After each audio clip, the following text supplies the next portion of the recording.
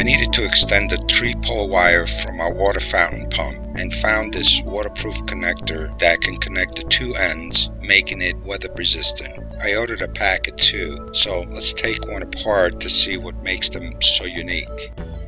It's about 3 inches long and it has two end caps.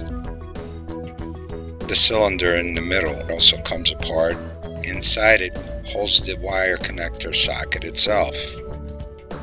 Both ends have three wire connections since this is a three pole wire connector and each wire connector has screws that tightens each wire in place. A flat or Phillips screwdriver could be used on them.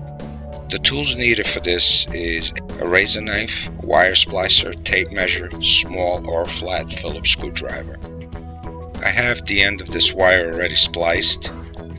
Cut the black insulation about one inch and each wire is spliced to a quarter of an inch. I'll show you how I did it on the next wire to be connected. Before connecting the wires, make sure the end fittings go in first. Then the middle casing.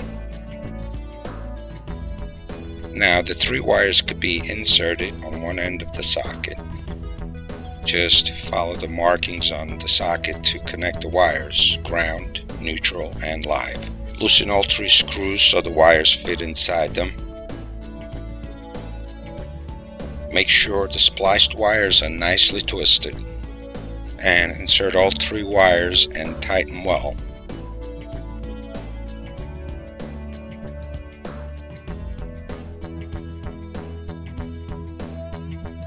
And we have one end done. Now before we go to the other end by the fountain, I want to show you how the connector seals itself making it waterproof. It can actually be submerged to 6.5 feet or 2 meters. The middle cylinder has a rubber ring that seals the wire connector socket and the end caps have rubber grommets that tighten around the wire completely sealing both ends.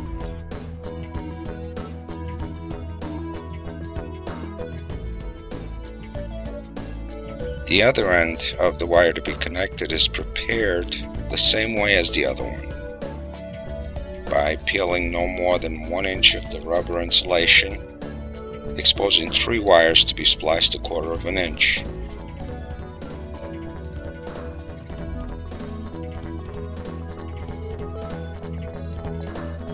Then again, not to forget, slide in the end caps to the wire before screwing each wire to the connector, making sure each wire type corresponds with the other side.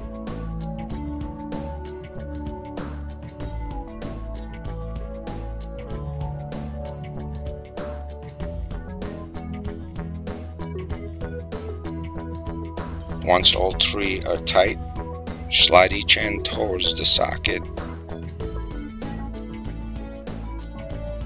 tighten as much as possible by hand and carefully use pliers to make sure it's tight enough. Plug it in to test it and the connection is complete. If you have any questions, feel free to ask in the comment section. You all have a great day.